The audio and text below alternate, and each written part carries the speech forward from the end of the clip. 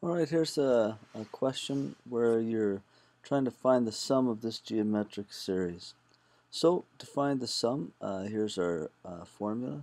Sum is equal to a1 times 1 minus oops, r to the n all over 1 minus r.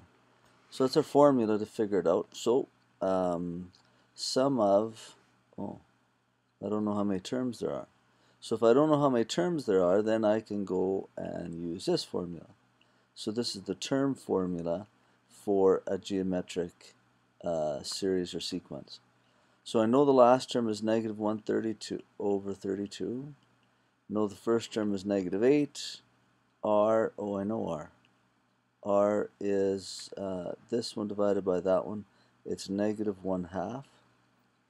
All to the n minus 1. So here's a question where I'm searching for n, which is an exponent.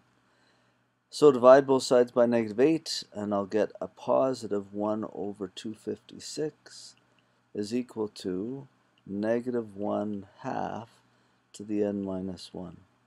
And here I get into trouble because uh, a little bit because um, I've got a negative half here. I know I could change this like 1 over 256 I believe is 1 half to the uh, eighth is equal to negative 1 half to the n minus 1. But the bases aren't the same here. So um, maybe I could change it to log form.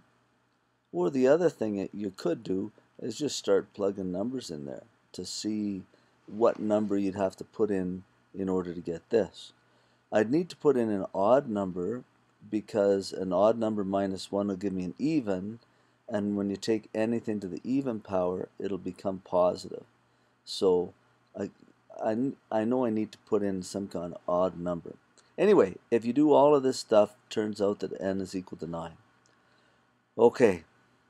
So if I know that n is equal to 9 so the sum of 9 terms is equal to the first term uh, negative 8 times 1 minus r is negative 1 half to the ninth bracket all over uh, 1 minus a negative 1 half. Okay, so uh, now what I would do with this one is I would just plug it into my calculator and figure out what it uh, comes out to. I guess you could figure out each portion of that like figure out what this is equal to and then 1 minus that and then take that whole thing and times it by minus 8. But with our graphing calculators you could just do the whole thing. And what I would do is put everything on the top in brackets, everything on the bottom in brackets, and then just make sure you divide those two. So if you type that into your calculator, you'll come up with negative 171 over 32. Uh, if you start doing stuff in here, you could get into trouble if you miss some negative signs, uh, or if when you're dividing, you're not dividing by like one plus a half would be three halves. You know, you could you could switch that to two thirds or something. There's lots of little mistakes that you could get into.